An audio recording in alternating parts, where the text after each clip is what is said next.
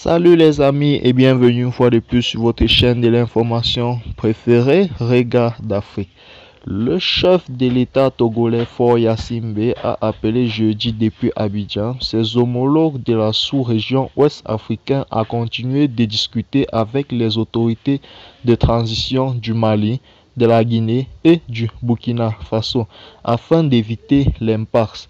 Fort Yassimbe s'est exprimé au cours d'un point de presse conjoint qu'il a animé avec le chef de l'État Alassane Ouattara. Dans le cadre d'une visite de travail et d'amitié en Côte d'Ivoire, nous avons consacré beaucoup de sommets à ces problèmes-là. Je pense que nous devons tout faire pour éviter l'impact d'un côté comme de l'autre et sortir peut-être des sentiers battus et réagir avec beaucoup plus d'audace, beaucoup plus de solidarité, a déclaré le chef de l'État togolais. Selon Fort Yassimbe, le problème étant difficile et complexe, personne ne peut être sûr qu'il a la vérité comme une science infuse. Il faut continuer à se connecter entre nous, chefs d'État également avec les autorités de transition.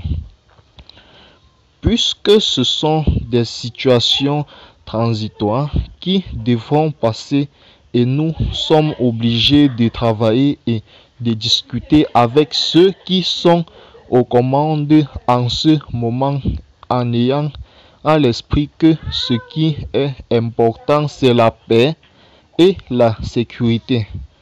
Personne n'a envie que d'autres peuples souffrent de sanctions. Nous avons tout un agenda économique. Les perturbations que nous connaissons aujourd'hui, nous voulons que ce soit une mauvaise parenthèse.